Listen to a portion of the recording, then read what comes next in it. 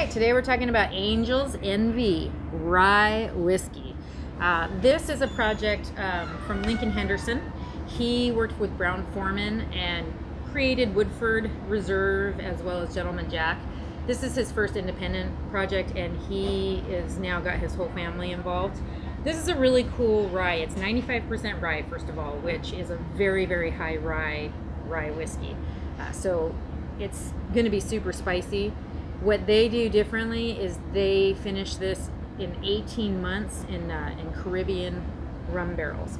So it tastes sweet, it tastes like rum, but you're mixing it with that high rye content, and so that combination is really, really good. Um, let's taste it and see what it tastes like. Maple from the rum, vanilla from the oak. Oh, it's so good. Delicious.